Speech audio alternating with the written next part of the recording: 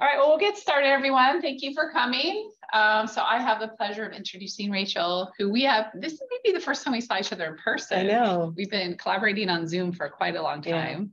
Yeah. Um, but Rachel's the research director at Take This, which is a really important nonprofit in the game space, does work a lot with industry.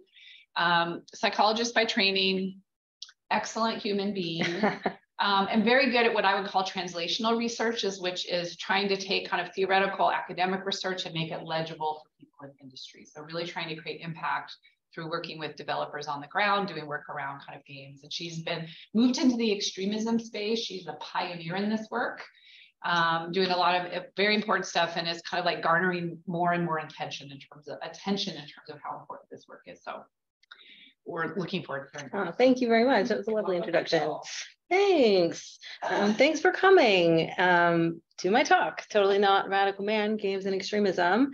It's not the easiest talk to attend on a Friday afternoon, but I'm grateful that you all have come. Um, I had a lovely introduction, but this is always part of the slide deck. I am the research director of Take This. I'm a science content uh, creator on YouTube where I do a lot of that translation work. Um, and if you follow me on social media, you know, if I don't mention The Witcher, it's not a talk of mine. Um, I'm a passionate mental health advocate, and I am generally a proponent of games as tools for mental wellness although obviously this work in extremism kind of departs a bit from that. Now, if you're not familiar with Take This, uh, we are a mental health nonprofit, actually the oldest mental health nonprofit in the space. And we're in this very interesting boundary between we work with gaming communities, but we also work with the industry. So we advocate in both spaces. And our general remit is to destigmatize mental health challenges and provide mental health information and support. So we're going to take some broad strokes to games and extremism today because I realize that it's maybe a little niche and not everybody is as familiar with this area of research as I am. Um, so like any good academic, I'm going to start with definitions and then I'm going to give a really kind of TLDR about what we know about games and extremism. Then I'm going to give the world premiere of some new data, which is always tasty and exciting. Um, and then after I take you down, I promise to bring you back up with the uh, what do we do about it at the end. So starting with definitions, so extremism is the advocacy of extreme views. It includes the belief that your success, your in-group success is, uh, or survival is dependent upon the need for hostile action for an outgroup. So examples include misogyny, racism, white nationalism. I've made a little example here, like a hatred for robots, which will be more clear in a minute. Um, but it's about the advocacy of extreme views. Whereas radicalization is the escalation of an in-group um, idea of increasingly negative views and the endorsement of need for hostile action. So it's taking it one step further. So to put the other way, extremism is the advocacy of extreme views. Radicalization is when they become more extreme and increasingly orient towards hostile, negative, and violent action. Now, actual violent action, that's terrorism. That would be another, another word here. That's the actual or threatened use of violence. But hmm. just for our purposes, radicalization is the escalation of thoughts um, towards increasing need for violence for your own group's survival. So what do we know about this in games? We know that the internet has a history of being a gateway for communities devoted to extremist movements We've seen this over, you know, a long time since the advent of the internet, maybe. We see it in online forums, we see it on social media, we see it on YouTube. But in the last few years, there's been growing concern specifically about extremism in gaming spaces. And the concern seems largely centered on this idea that extremists are using the breadth of population that are engaged in games to propagate um, uh, their propaganda and radicalize and mobilize and signal and network and all of these things.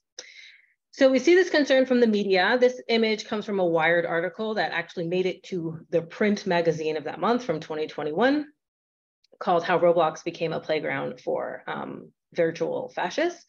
But we also see it in the government. So the Department of Homeland Security, the UN Office for Counterterrorism, they've both in the last few years held summits specifically about games and extremism.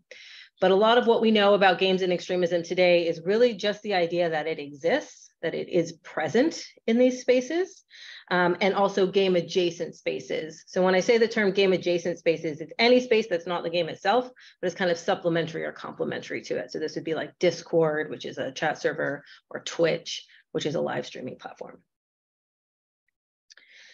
So just to give like a really fast rundown of what we know about its existence, um, this work comes from the ISD.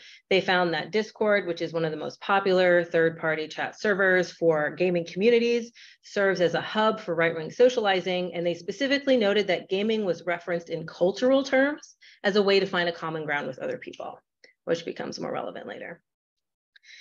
Steam, which is an online platform where you can buy, sell, and trade and create games, has been found to house a range of servers that are created by far-right and neo-Nazi groups.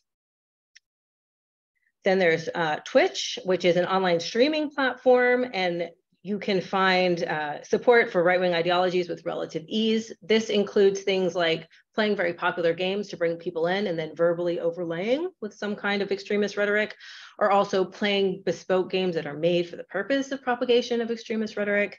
Um, it also includes using the platform itself as kind of its modality to troll and spew hate through things like hate raiding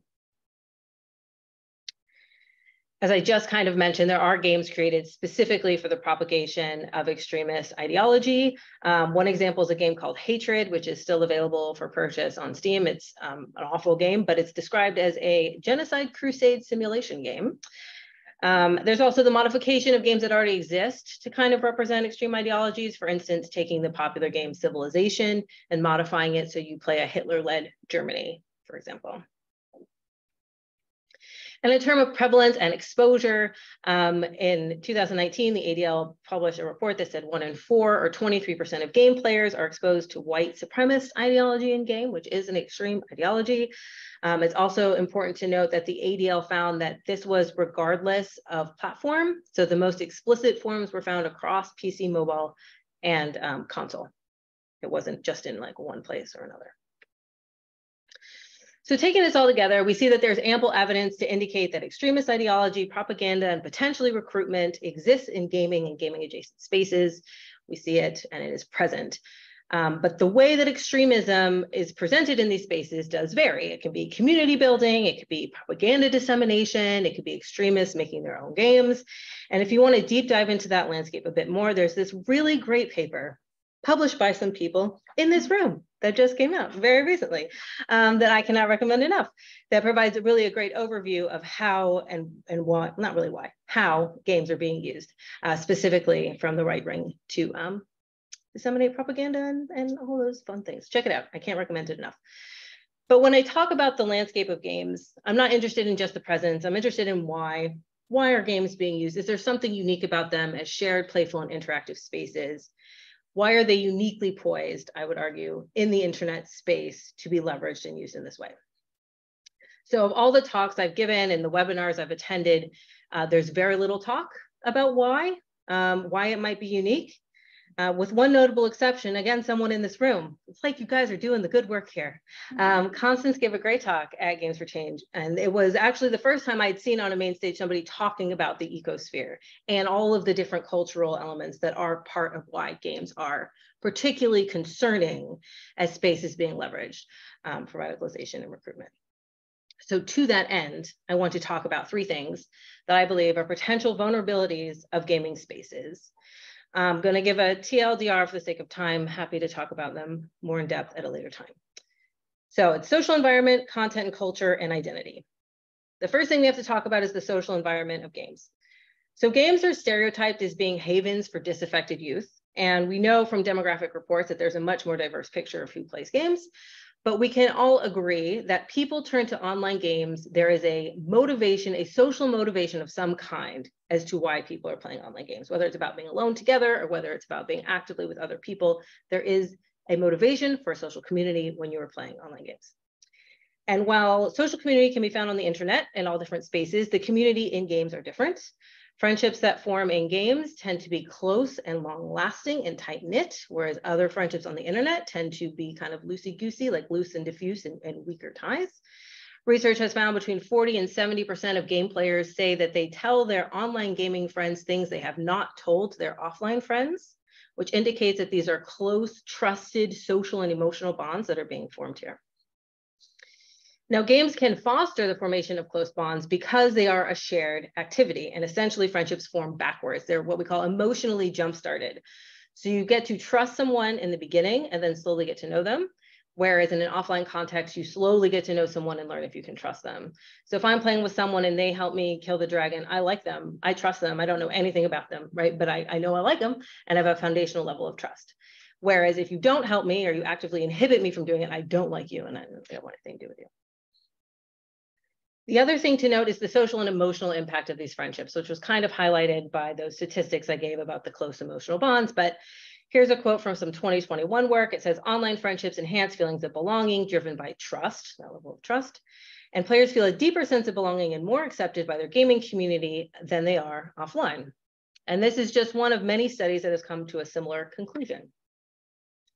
Now, the emotionally jump-started relationship building, this foundational level of trust, this social motivation to play, the specific combination of social qualities which makes games wonderful is also a vulnerability for recruitment for extremist causes. And I'm going to illustrate for uh, with an example here. This is taken from that Wired article. It says, here's one version of how far-right recruitment is supposed to work. Bobby queues up for a Fortnite match and gets paired with big bad skinhead Ryland. Ryland has between two and 20 minutes to make his pitch to Bobby over voice or text chat before enemy player Sally shotguns them both in the face. If Ryland's vibe is intriguing, maybe Bobby accepts his Fortnite request.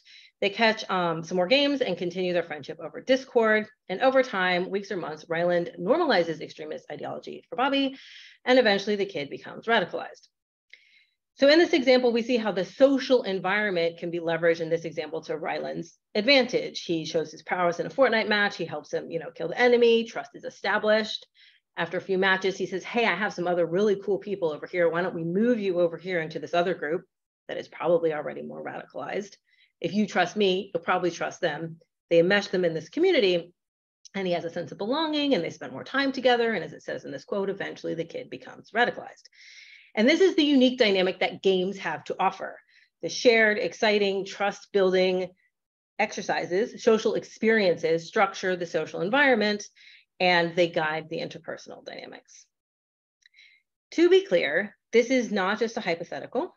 This article came out in 2022 looking at two police reports of 14 year olds who were radicalized in video games. Um, and I want to share a little bit of the summary of one of the uh, people that they talk about. He's referred to as person A. Uh, he established a friendship with a person, presumably age 16, because it's the internet and you never know, uh, through a shared interest in playing a historic strategy simulation game focusing on the Second World War on the gaming platform Roblox. The friendship between the two was intensified on Discord. They met in the game. it was moved to another space. They attempted to involve him in discussions about politics and ideology and therefore radicalize him, as well as to bring him to offline behavioral changes or certain actions. Specifically, he was told to shout the Hitler salute in school or at home, which he did, and thereby cause suspicion about a potential radicalization among his teachers. Now, the article goes on to say the next thing they asked of him was to go into the real world and commit violence. And luckily, this 14 year old realized that that was one step too far. And he went to the police and said, I think something weird is happening here. And that's how they, they found that out. Not everybody is going to be so cognizant of what is happening in these relationships. And it's interesting too, because in the interview, he said he didn't actually want to do the Nazi salute, but this was his group and he felt a sense of belonging and he wanted them to be happy and like him. And that's why he did it. So this takes us to the second vulnerability, which is content. Uh, I have a lot of things listed here, othering, ethnocentrism, gamification, aesthetics, and narrative. And I think it's important to understand that with games, it's not just the social environment that's being leveraged, although that's a really important piece, but one I think we're starting to make some progress on better understanding. But content is also important. And earlier this week, I was at a different conference and somebody described it as the mood music of radicalization, which I think is actually the, a, good, a good way to put it. So the first concept is othering. It's classic us versus them, interpersonal dynamics. You know, it's me who's similar and you, everyone who else is not similar.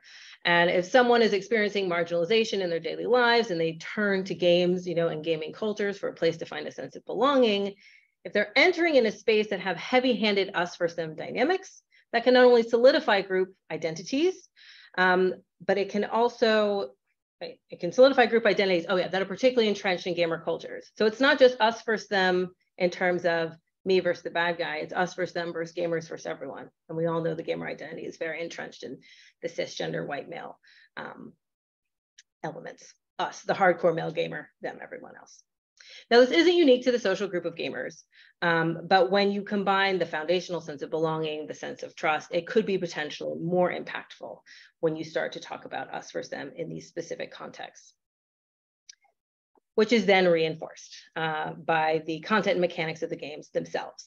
These have powerful othering processes, you know, in realistic war games, for instance, there's often ethnocentric uh, view of the world that's presented and it marginalizes those, anyone who's not like you. We see this in off the shelf titles. We also see this in the extreme example I gave earlier of hatred, that bespoke game. That's basically the entire mechanic of the game is an us versus them. And this is not me saying games shouldn't have us versus them dynamics. I'm just saying it's the mood music, right? of radicalization that kind of adds to further leverage um, the propagation of these ideas. And then there's visual elements. And I always talk about Far Cry 5 um, because it's just a good example. If you're not familiar with this game, basically there's a doomsday cult. That's who they are. They're intended to be villainous, but they have highly stylized aesthetics. They have like a catchy theme song. Um, they have, you know, rhetoric kind of around them that is supposed to be bad, but it's not like super clear if they're actually bad. And it has become really cut and paste propaganda um, for people who want to propagate this idea of white nationalism. And we know that because we see it, because it's copied and pasted into propaganda uh, for white nationalism. This is taken uh, from a Tumblr that was full of different forms of propaganda. And this is Joseph Seed. He's the main bad guy in Far Cry 5. He's saying, join me and your eyes shall be open, which is a line from the game. You see the nuclear bomb exploding behind him, which is also imagery um, from the game. We also see it in game reviews. Um, the top guy says, not gonna lie, this game is super fantastic for radicalizing American youth. And the guy at the bottom says, Joseph Seed was right, the collapse is upon us. So we know that games are being used as cultural currency. Um, and if the narratives kind of align with these ideas, that creates a really easy kind of machine of propaganda. Now, the last thing I want to talk about in terms of content is this idea of gamification of violent extremism. And this is adapting uh, game-like elements to real-world violence. So this is an article from GNet, and they were talking about specifically the Christchurch attack and the way in which the visual choreography of the event took place, the way that the camera was placed, the way that um, multiple weapons were used. And the reason I bring this up is because I wanted to demonstrate that it's not just that a game can be used to inspire change and propaganda, but it's also being retroactively used the other way around um, to inspire the way that the visual aesthetics are being shown um, in real world acts of terrorism. So that's content. And then I want to talk about culture and identity. And culture and identity not only underpins these first two um, areas that I talked about, social environment and content, um, but it's also my area of expertise. So I like talking about it. And it's also really what underpins why there is such a great concern as games for incubators for extremist ideology. So video games and, and gamer cultures, gamer identities really kind of first started emerging in the late 1970s when arcades became popularized and the term gamer was really made to establish the us for them, the us, the ones in the dimly lit arcades and them, everyone else. And you'll notice I'm saying gamer and gamer cultures because this isn't just about people who play games. My mom plays Wordle very competitively uh, every day. Um, really, I don't do it with her anymore. Um, and she would never call herself a gamer, ever, ever. I would call myself a gamer and I haven't played a game in a long time because I have small children and no time. Um, so a player is a temporary functional status that you have when you're actually playing. A gamer is a concept that comprises long time aspects of your self-construction, your self-perception, how you perceive yourself in the world, um, in your own social group, but also in comparison to others. So we all have a lot of social identities and these identities are important. Gamer identities specifically have been associated with a range of positive mental health outcomes, um, a greater sense of belonging, lower sense of loneliness, you know, our social groups give our lives meaning. It's also been associated with greater engagement in games themselves, like longer playtime. But the caveat that comes with gamer identities is that they are generally seen as more exclusionary than inclusionary and have been come to be called toxic. You may have heard the phrase like toxic gamer cultures. So this was talked about um, by Brianna Wu several years ago. She says the gaming world is thronged by misogynists and racists who feel free to advocate harm against anyone who's not like them. And this is just one part of a much longer quote, um, but I think it really gets at the heart of what we're calling toxic gamer cultures, which are cultures of misogyny, racism, and hate, where these things are not only happening, but these things are normalized behavior. And they really are normalized. Um, this is data from 2021 it looked at all forms of what I call dark participation. These were the three most extreme kind of forms that I looked at, sexual harassment, hate speech, and violent threats. And blue is directly experienced. So that means they were the direct target of this action. And orange is that they witnessed it. And you can see that in many cases, it is the norm and not the exception. But what does toxic gamer culture have to do with extremism? A lot, actually. Uh, first, uh, research has found that participation in these kinds of activities is associated with an increased risk of being persuaded by far-right propaganda specifically. So being entrenched in a culture that normalizes hate increases the likelihood that you too may choose to adopt or participate in this behavior. And participation can lead you to more extreme forms of this behavior, both in and out of game. And we know from years of psychological research that the nature of the environment around us impacts the way we see and interact with the world. And the analogy I always like to give is it's like when your mom says, don't hang out with the kids smoking behind the gym, because the people that you're with change the way that you see and interact with the world. We also see a normalization of extremist language kind of embedded in this culture of a normalization of hate and harassment. So this was a paper published in 2022. It was a collaboration with Take This, Middlebury, ADL, and GamerSafer. We looked at 1.4 million chat log messages, and we found the normalization of extreme language in gaming spaces that were previously only affiliated with very kind of hardened hate groups. So they weren't being used in the same way. They were being used very casually, but the words that were being used were not common words, words I had never heard of until I, I did this study. Um, and a few years ago back, you would have only seen it in like the dark corners of 4chan.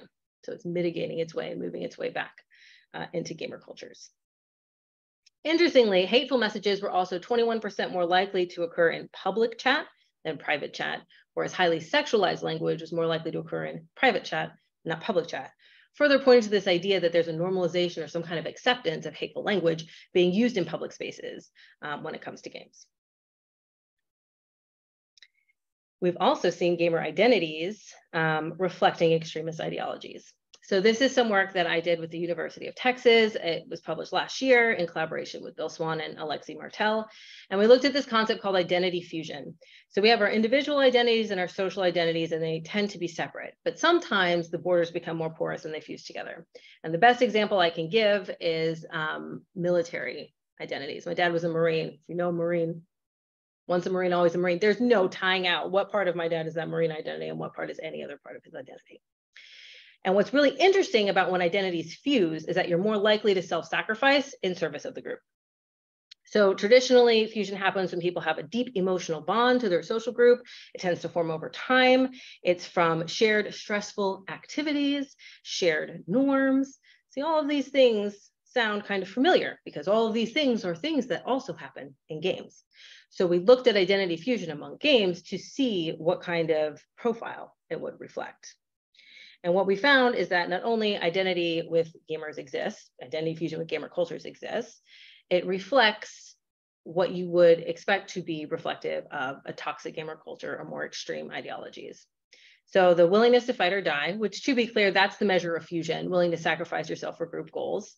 Uh, recent aggressive behaviors, Machiavellianism, which is a personality trait characterized by being deceitful and cynical and lacking morality, uh, narcissism, psychopathy, which was measured as a lack of empathy, racism, sexism, and it says alt-right identity, but it should say white nationalist identity because the question was literally like, do you espouse beliefs associated with white nationalism?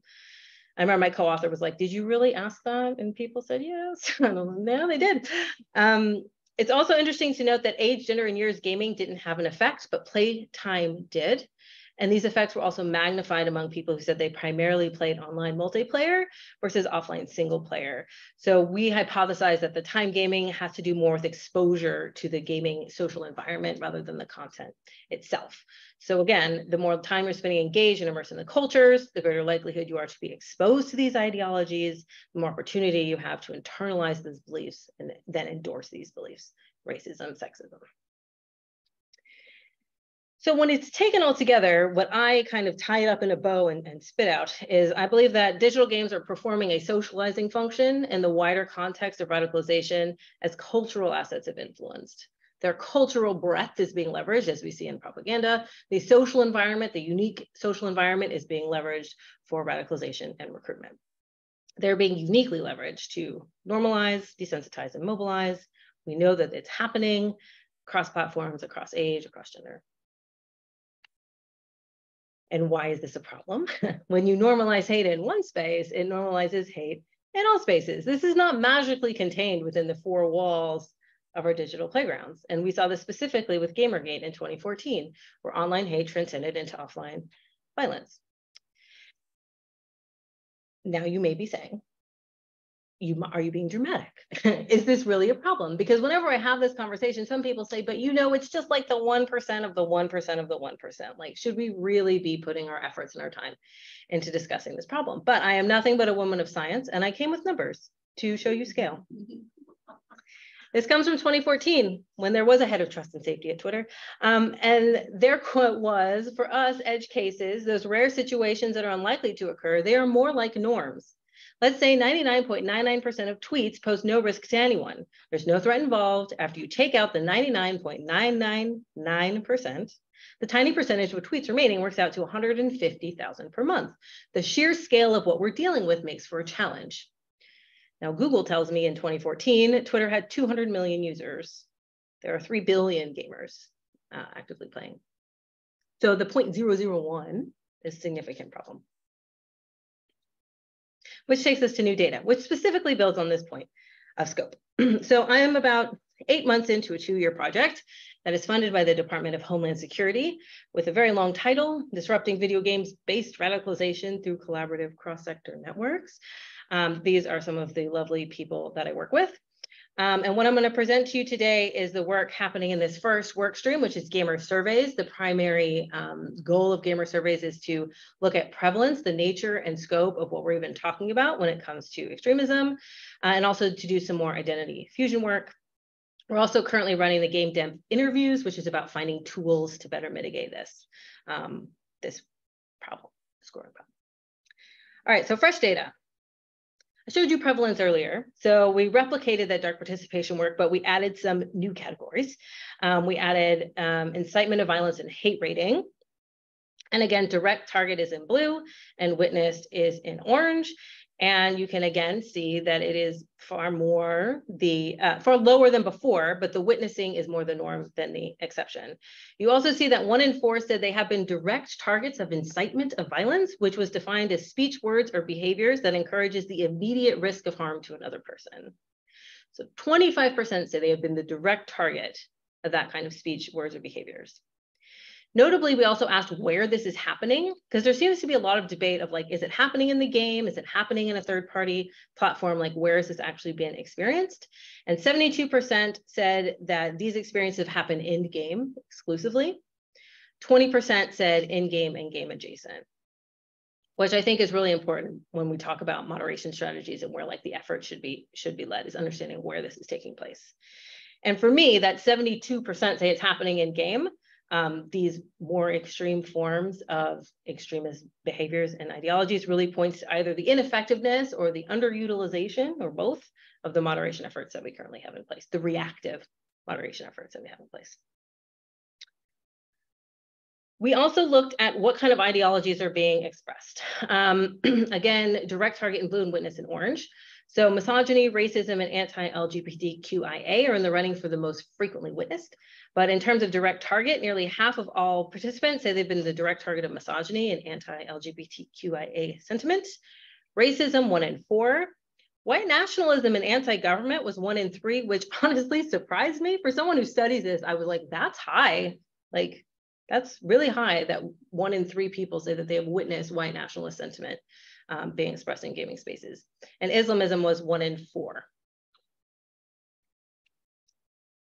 Then pointing to the normalization, we took these same categories and said, do you think that these things, enter word here, are embedded in gamer cultures? Do you think they are fixed and deeply within? And this is the percentage of people who said yes. So misogyny, 75%, racism, 60, anti-LGBTQ, 60, white nationalism, 40% say that is a embedded feature of gaming cultures. Anti-government Islamism at about 20%, which again goes back to this idea of toxic gamer culture. Now, one more thing we asked, in addition to this was about embedded, we also asked, do you think that these behaviors are culturally justified? Is it justified that this is part of the culture and it's just an experience that you're going to experience uh, being in a gaming space? And we purposely left these questions more broad. We said, do you think toxic behavior or do you think hateful behavior is culturally justified? And this is the percentage of people who said yes, which again goes back to this normalization of hate and harassment in these spaces. I told you I was going to take you down, and I'm sorry, but we're going to go back up. Um, what do we do about it? What can we do about games being cultural assets of influence? What can we do about our ineffectiveness to moderate these behaviors? Um, what hope is there? Now, there's a lot of things we can do. And when I originally drafted this talk, I was kind of going to go point by point and talk about them. But I realized I have a lot of researchers here and I have a lot of practitioners here and, and I didn't want to necessarily fall down into this rabbit hole. But basically the TLDR is that you have to tailor the solution to the problem. So social environment, we can talk about community management and proactive, you know, moderation, content. We can talk about safety by design, digital thriving, um, culture and identity, my colleague Alex Newhouse and I have long been on the soapbox of a network moderation, which is moderating people in clusters of, of groups versus like the whack-a-mole of keyword lists, like changing the way we're doing uh, proactive moderation. And several of these things we talked about in our GDC talk. So if you're interested in any of these, I can point you to that. Um, but what I hope to convey from that is that it takes a lot. It takes a lot of different stakeholders. It takes a lot of different pieces and a lot of different approaches because changing culture is slow, multifaceted problem. Now, before I go, I wanted to make one more side point about my favorite um, member of the Captain Planet team, which is Earth Power, um, obviously, and that's the researchers here. So when we're talking about researchers in this space, we have to talk about researcher safety because working in this space comes with risks. And if we're going to continue to do research in this space, which we're doing a lot of it here, I think it's really important to publicly advocate um, for ways in which we can keep ourselves and new researchers in this space safe. So there was this VOX-Pol article that came out.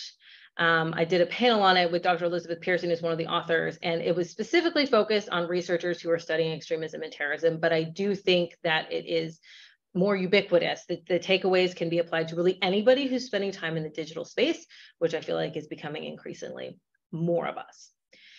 So the risks to consider were threefold, external, internal, and professional.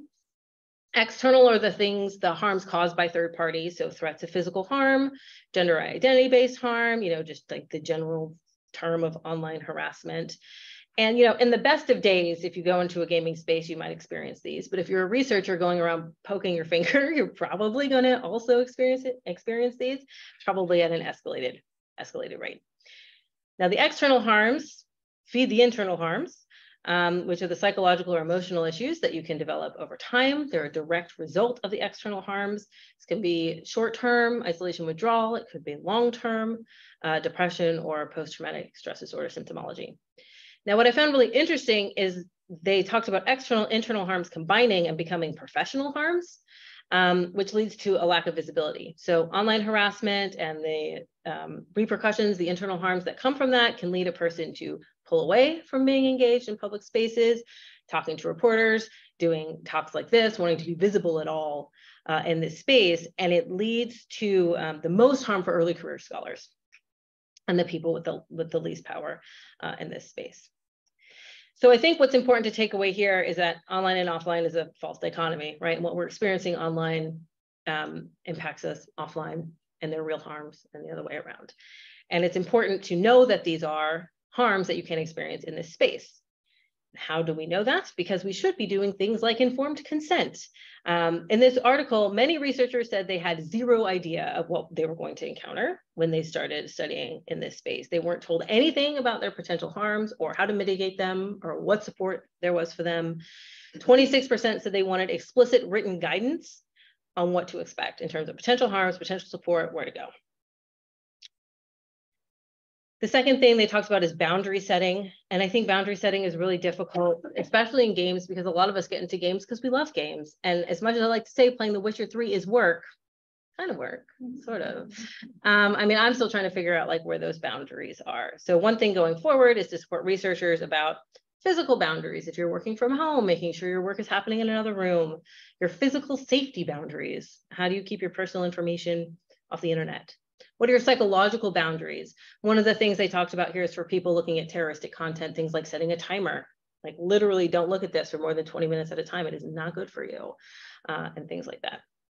And I, with that, I want to do a small plug for Tall Poppy, which um, is what we use at Take This. Um, they, they do teachings, they do active um, support if you think that something specific is going to happen.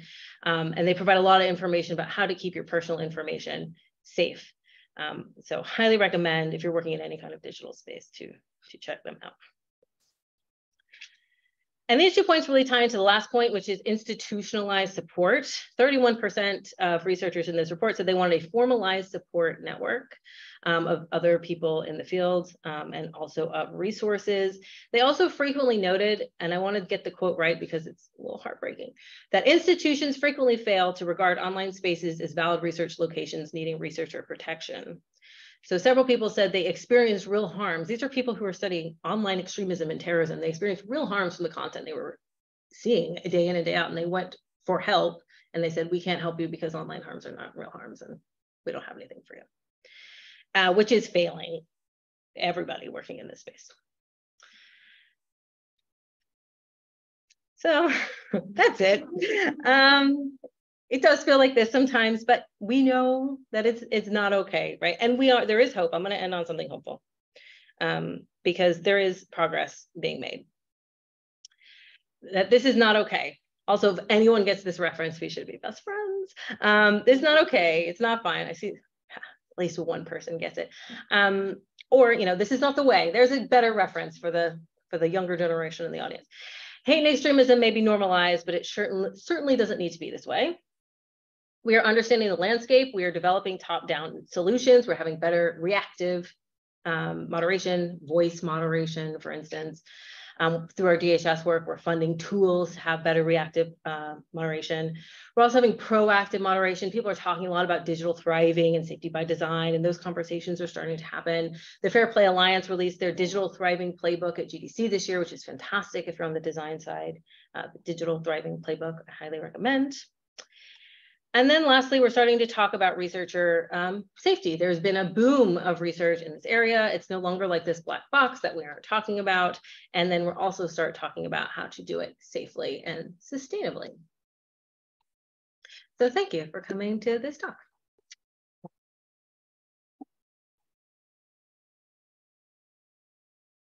We have time for questions. Ria is really wanting to ask the first one. I can see her shaking. Oh, no. um, no, you're good. Yeah. Um, what one wonderful love you talking about there were Witcher. Um, I wouldn't let you down. I wouldn't let you down. But um, I do have a question about like you. You make a really good point about how these aren't isolated things. Yeah. Um, you know, oh, gaming culture like within video games. You mentioned GamerGate as an example of real life implications of toxic culture. Do you think that expands outside of gaming, or rather, I I'm hypothesizing like there's a lot um, games can kind of be seen as like third spaces for people like possibly like in tech and STEM, like a lot of people in tech and STEM play video games. Do you think that um, there are implications in those spaces as well because of the toxicity of gaming? Yeah, that's a great point. Uh, thank you for that question.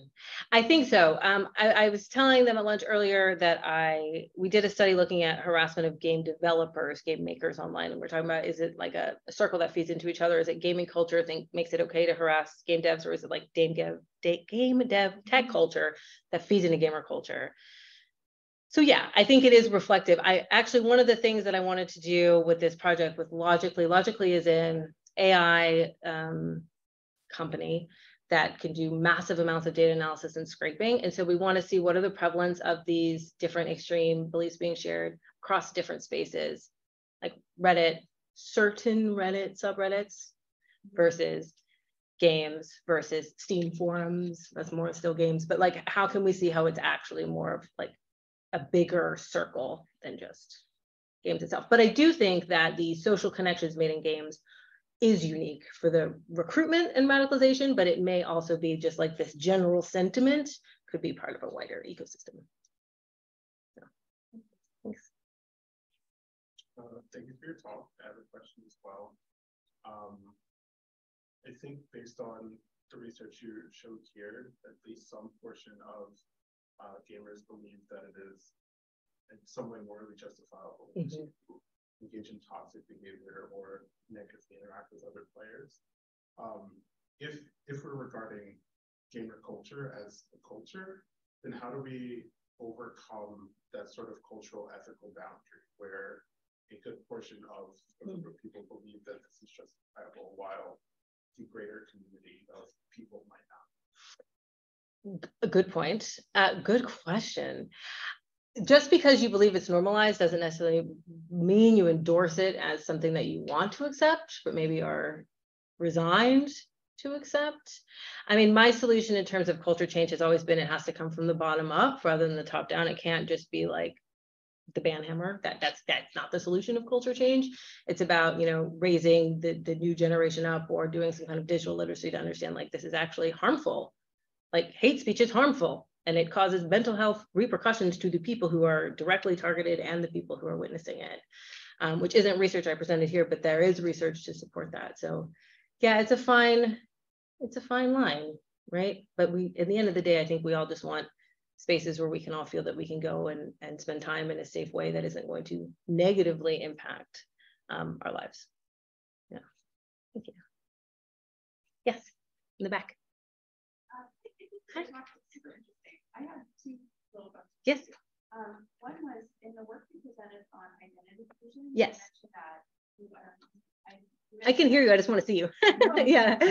You mentioned that um, gender and age were not significant. Yeah. Didn't significantly associate with whether identity happened. And I was a little surprised by that, just based yes. on kind of, you know, common narrative of, or the narrative that you would put, right? Of like the younger boy who was brought into this. Yeah. Um, so I wanted to see if you could reflect a little bit. Yes. And then the second question was, and if, if you, I just wanted to give you a little more space to talk about this idea of network moderation. Yes. not something I'm familiar with. Oh, perfect. Okay, yes. Um, I may have misspoke in giving the impression that it is the young boy. That is the stereotype that it is the young boy. Um, but there's not evidence to suggest that it is only the young boy. Um, and also there's not evidence to suggest that it's only young people. I was actually talking about Mimi with this uh, earlier, that there's this idea that people are going into just radicalize younger users, which while that is a target because they tend to be more susceptible to these kind of messaging, there's also direct efforts to radicalize older people with means and ways. So it's not like it's they only want a certain person. They, they want all the people with all the different resources and all the different ways. So I, I probably misspoke. Um, for, for that. But that is the stereotype and the perception. Okay, no, I yeah, yeah, I just want to be clear. Yeah, yeah.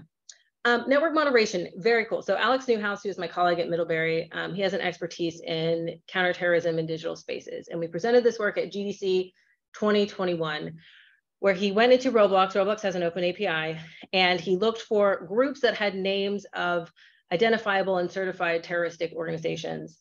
So names that are very clearly associated with certain designated terrorist groups. And he maps them, he maps their connections because you can see how one group is connected or, or affiliated with another. And with not a lot of effort, he had quite a big map.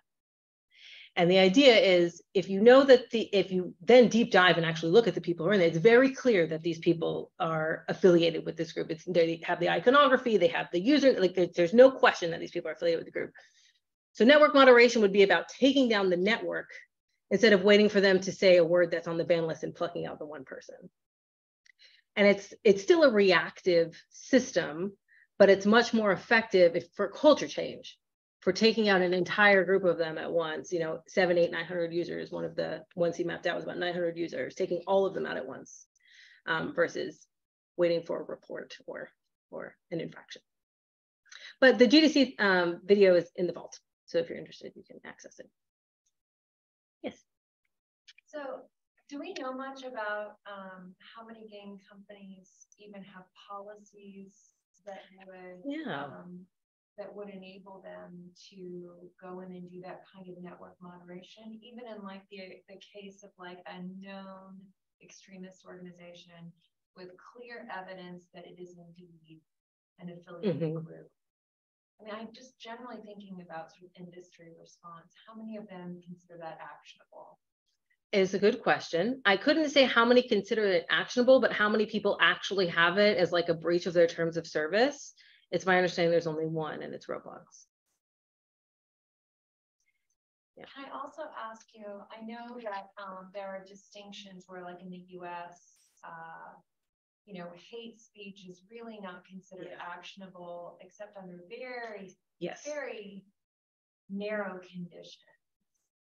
Just thinking a little bit about like why why we don't have more sort of policies and governmental intervention in these kind of things.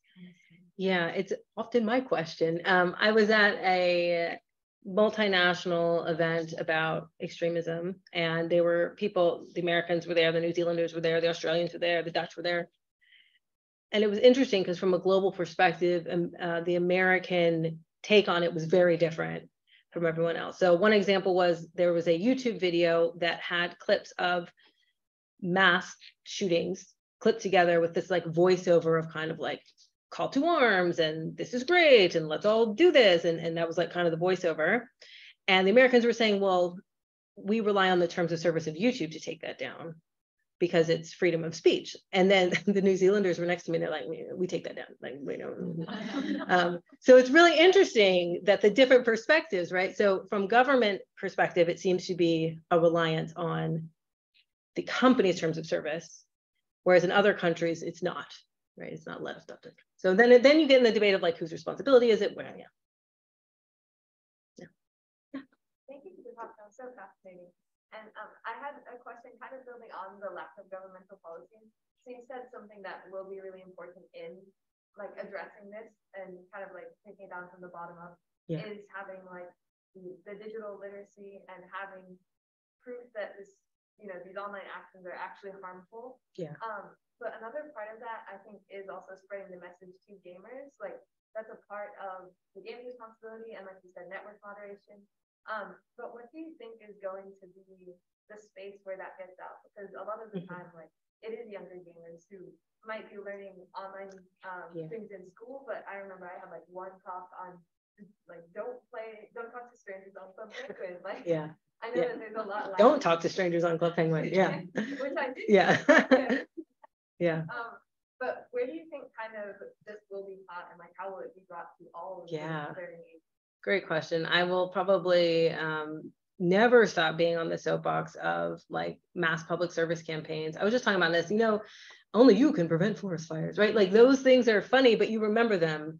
And it's like, why is there like nothing even attempting to kind of broach this topic of what happens online matters offline or how to be a good digital citizen or katie knows i'm in meetings with her all the time like public service campaigns are what we need. So i don't know. But i do think that like digital literacy should be part of curriculum. I have no idea why it's not in 2023 um, yeah. Great question. I have no answer.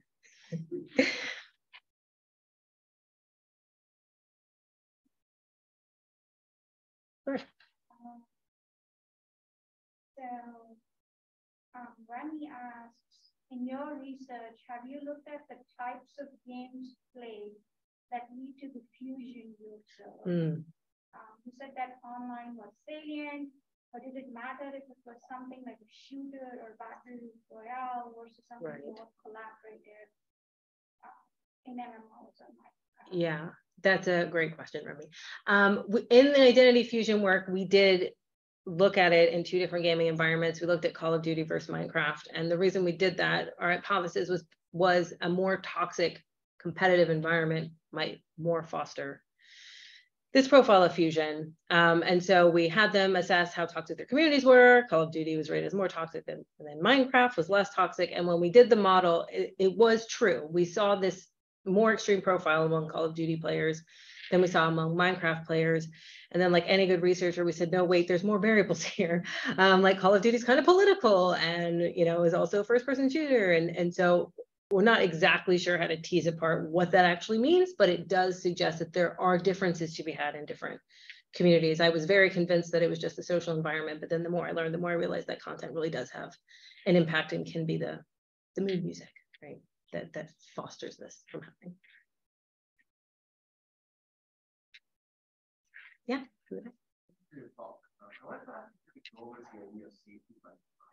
Yes. It's easy to imagine how uh, content.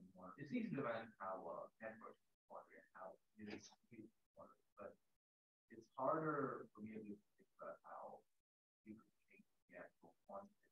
Yes, I wonder if I have that slide or if I, I had like 10,000 slides and then I cut them for time. Oh, I have, there we go. This is a really good paper. It came out of the Polaris Game uh, Work Summit workshop. It's down there, Polaris Game Summit. I think, um, recently, and it was talking about creating kind games.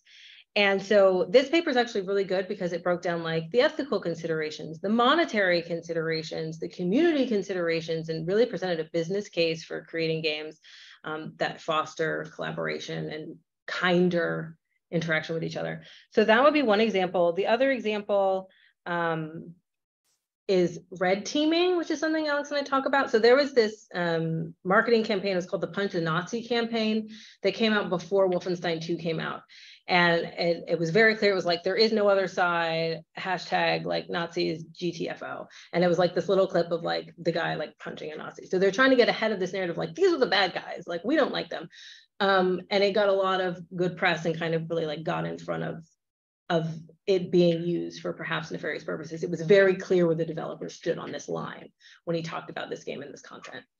So those are two examples of kind of safety by design. So thinking about how you can change the marketing or how you can change the design, or like with Far Cry 5, making it more clear they're the bad guys. Like it really is kind of morally ambiguous because like the good guys in the game are also kind of like doomsday prepper type people. So it's not like super clear, like, are you both the same? Or like, is there really a good or a bad? Um, so kind of red teaming the narrative um, of games as well. But that Polaris uh, report, I'll put it back up. That's um, a really good place to start because it's very in depth. If I can find it, there it is. No, please, please, go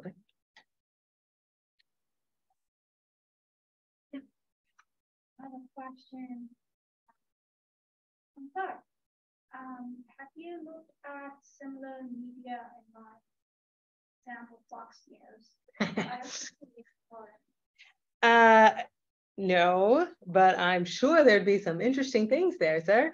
Um, no, I haven't. I have drawn from other, oh man, I took all the slides out. I have drawn from other media looking at um, the approaches to narratives. Like there's been some work from the Pop Culture Collective looking at the way that narratives are expressed in more traditional forms of media and how that is kind of used to impact the way we see and interact with the world and kind of compare it to what we're talking about with games now. But I haven't seen or done any work specifically looking um, at that. But you know, there is an argument to be made that games reflect culture, but I do think that games also create culture. So I think there's a bit of a cyclical thing happening. One more question. Sure. I will speak for a little while. So, okay. Um, so Kat says, hi Rachel, thanks so much for your talk.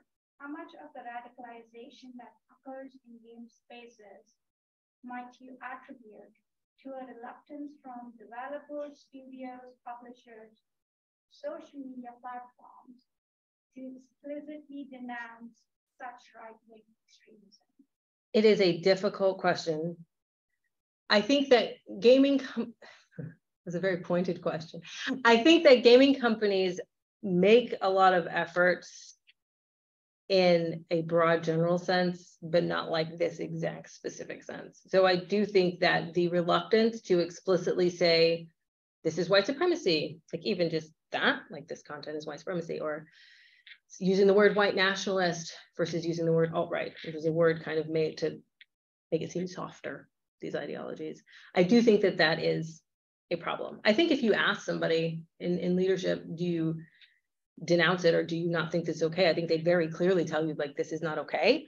Um, it's just the, the overarching, I guess, I wouldn't say reluctance, but just it hasn't happened unactioned. Um, doing that is definitely a problem. It's definitely a problem.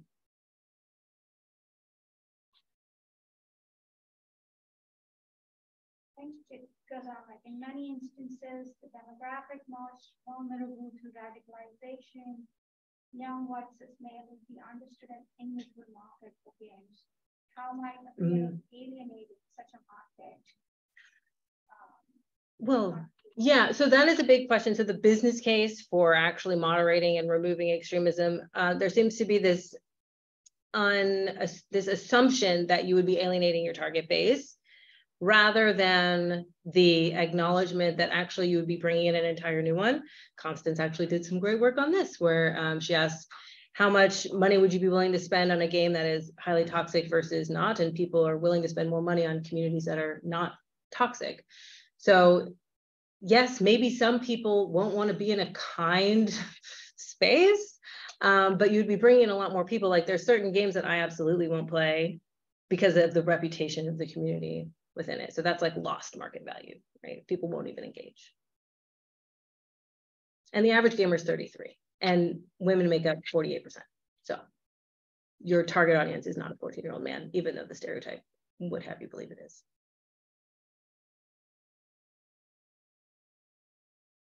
And that's players, not gamers. but that's your market share. So players is what the market share is. Yeah. Um, kind of from the question prior, um, when we're looking into cultures within like game development companies, yes, like that, has there been research or more internal um, perspective or perspective on how like devs themselves might be exposed or enabling, mm. whether purposely or subliminally, toxic and oh, yeah. uh, ideologies like oh, this thing in Far Cry 5, how much it was actually kind of purposeful. Yeah, yeah. Well, it's interesting because I wish Alex was here because he's more of the expert on the extremist content, but there's a book called The Turner Diaries, which is like um, a very important book to white supremacists. Um, and he says like the narrative of Far Cry 5, it's almost as if they were inspired by that book. Like it has a lot of similarities between the content. Not that it necessarily was, not saying that Ubisoft, I'm just saying there are parallels um, between the content, but red teaming would solve that problem. Um, yeah, they, they call it men men first bro culture, I think is the phrase to describe. Bro, yeah. Um, and, and there is research um, about that. It's not my particular area of expertise, but there, there is research that exists about how, you know, it's like startup culture and, and gaming culture has become kind of the, the norm within those work environments and how that might percolate out into the content that's being created because if the people making games are men of a certain age, of a certain background, the content they make is going to cater to that. that makes sense. Um, but rise of the indie. So, okay.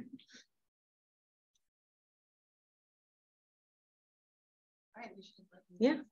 Yeah, get some drink. Sure. Well, thank you all for coming.